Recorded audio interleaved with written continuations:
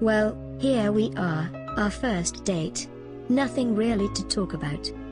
I love you, Michael Jackson. I love you too. I mean, I really love you. Oh? Then get out of here. In that case, I will. Then go. No, I can't. Because, because. I love you, Michael Jackson. Get out of here.